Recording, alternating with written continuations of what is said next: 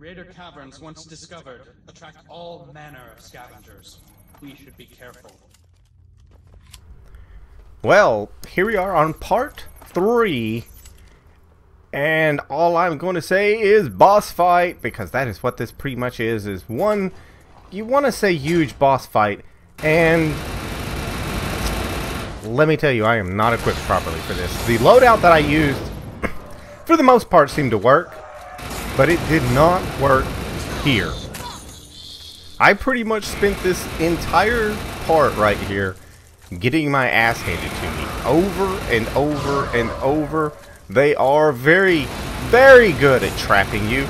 Um, the Monarch seems to have this incredibly impossible range with its melee. And was just knocking me around at will. You're like, come on, man, make him actually hit me so I can, like, you know, have a fair chance. So, I mean, you're going to see it. And I made it all the way through this, you know the, the whole point of this was to be my first playthroughs. And I wanted to post the first playthroughs up. And I wanted to not have to use hunter requisitions. You're going to see frustration set in here. You're going to see it happen. Just once. Just once. So, it, it, it, could definitely be worse. But I, I think I was really, you know, kind of wishing for Bio right here. Bio, I think, would have helped me a lot better. Um, uh, bio-resistant shield would have helped me better uh, because they were just ripping me to shreds with the bio. The bugs, especially, and you, know, you saw some of the other parts, the previous parts, and these crystals are always in the way. That's that's always fun too, but they're just constantly shooting bio, and the range on the bio attacks doesn't even have to be near you, and it just rips you to shreds. So I mean, yeah, if you can't tell, I, I, got trapped in the room before. I'm doing everything I can to really not back into the starting room. Because I don't want to get trapped in there again. Because that really, really sucked. Um, I think one of my mistakes was staying in this room. I probably should have gone into the next room. But uh, it's one of those things, you, you kind of live and you learn. And look at that, I was jumping and was already down. Crap. And it's one of those things, you, you know, you know you're in a bad spot. I'm trapped. And see, as soon as I jump up, blammo. They just, they were holding me here, and it was not making me happy. I'm not really sure else how else to say it right there, but uh, yeah, it's lots of rolling on the Hellbug hunt, and it's it's it's really frustrating if your loadout is wrong. Honestly, look at this. I was like, really? How's this even possible? It's one of those things I just didn't quite catch how I could be down there, but yeah, that's where I used it. I was I was pissed and I was see look at that. God, here's I was, I was not happy at this point.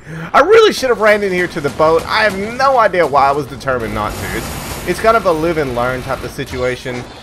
And uh, I was just determined I was not gonna go down into there for some odd reason. There may be a reason that I just don't remember off the top of my head, but I just wasn't going in there. I just kept blowing up the crystals. I don't really understand what the crystals were for, really. But a bio gun and some form of explosive, I would say, would be extremely, extremely handy. Well, why didn't you do something? Well, pretty darn obvious they weren't giving me squat for time to uh, consider changing anything. And uh, this was my biggest break right here. Look how awesome this guy is. Thank you for standing here. Yes. Yes, please continue to soak up the damage, sir. That is super awesomely wonderful of you. And it's like trapped right there. I got it trapped somehow. And so, yeah, I was trying to take as, as much as much advantage of the situation as I could.